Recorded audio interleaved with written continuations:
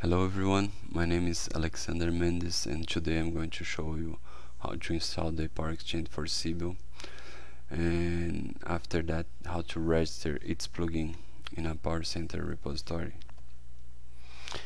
The agenda for the video is first show you about the what license option you need and after that install the Power Exchange for Siebel server change the Power Center repository to run exclusive mode register its plugin then change the power center repository back to running normal mode. Okay here in the admin console just select my license went to options. Under connections I see power exchange for Siebel this is the license option that you need. Here I have the Siebel server installer uh, I just unzip it. It creates some directory and folders this install.sh file uh, should come with a no executable permission. You can change it by running this command line here chmod plus x space install.sh okay so now I'm going to run the installer sh install.sh it checks out about the Java version that I have and provide me some information about the installation. Ask me to enter the installation directory. Okay I just provide the information where I installed the Power Center server. I just hit OK. It provides some information like uh, required space 52 megabytes and hit uh, OK again enter again okay it has completed installation. You should see this message at the end. After have finished the installation you should see here under the infahome server bin plugin directory this file.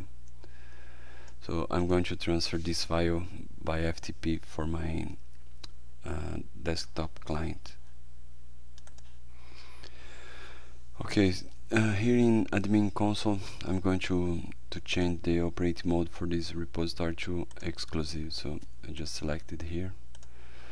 And I select exclusive hit ok. Do you want to restart the repository service? Yes hit ok.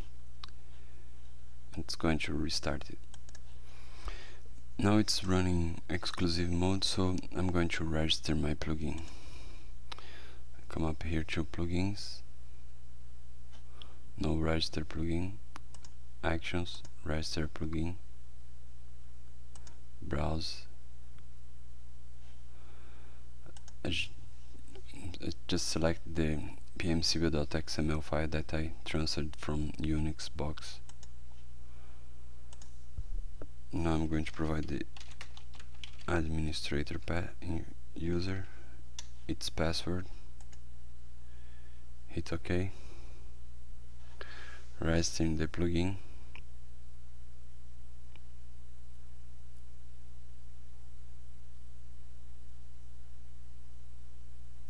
and it's done. The plugin has been registered here.